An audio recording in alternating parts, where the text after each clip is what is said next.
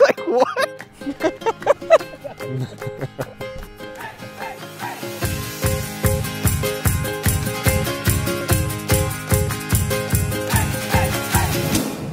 I think middle school is an age group that's like really pivotal in becoming who they are. They are probably at the most awkward time of their life, but they don't know it yet. Middle schoolers are like uh, roller coasters. They go high, they go low, they flip around in circles on you in a heartbeat, and uh, you know, it's, it's quite a ride.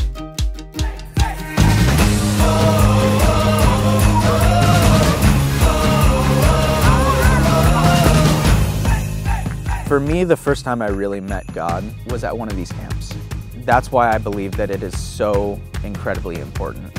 By the end of this weekend, I want them to leave knowing they're known by God. I think that again and again, camp has proved itself as a way that God allows the church to reach out to the lost and to connect the church together.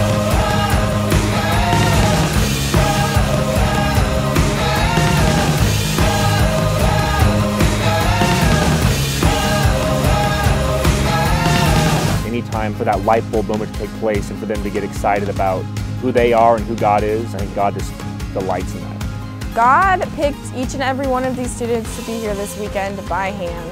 What God thinks of these students being up here is, is it's, it's a party. He's rejoicing.